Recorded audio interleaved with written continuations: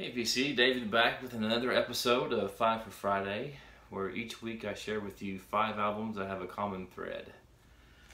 This week I'm going to share with you the five albums and see if you can guess by the end of the video what that common thread is.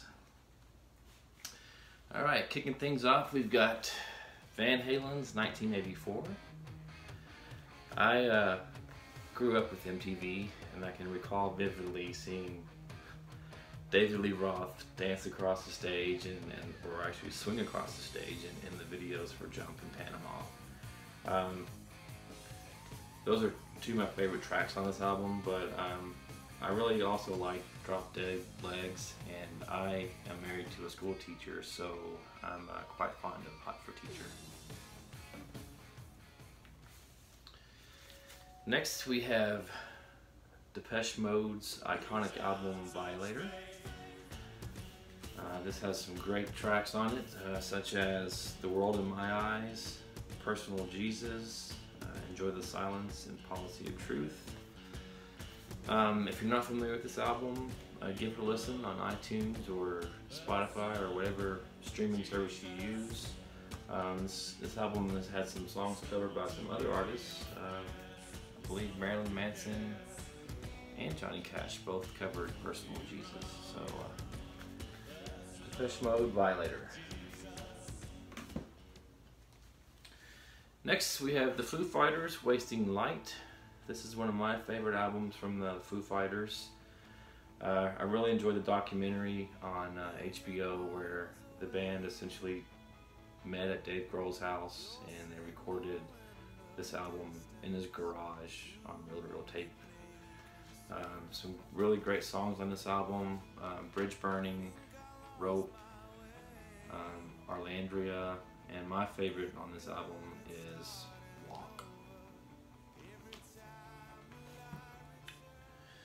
Right, next is Soul Asylum's Grave Dancers Union. This was my introduction to the whole grunge movement.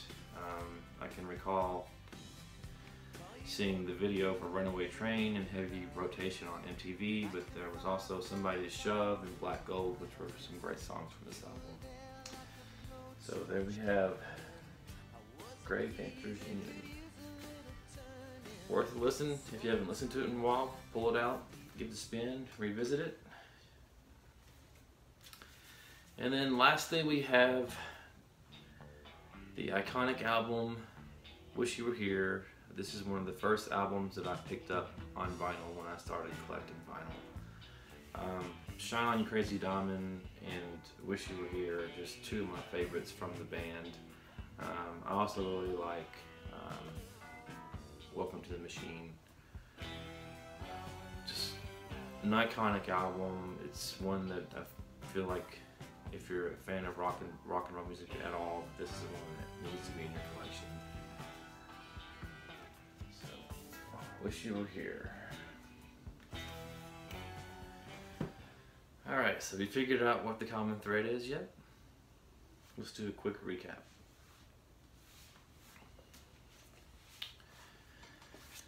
Van Halen.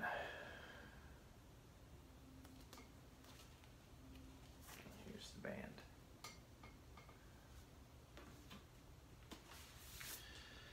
Depeche Mode.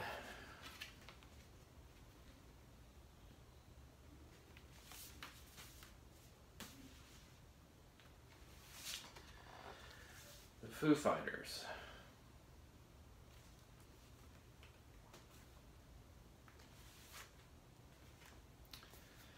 Soul Asylum.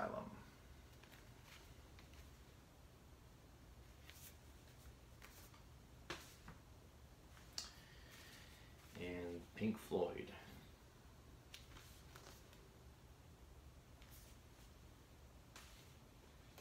We figured it out. Have you guessed it.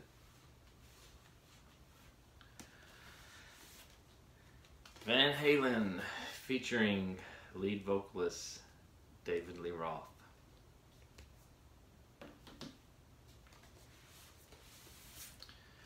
Depeche Mode featuring lead vocalist Dave Gahan.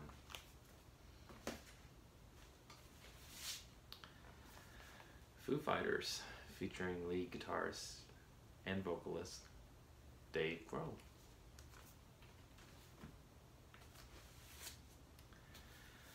Soul Asylum featuring lead vocals from David Pirner.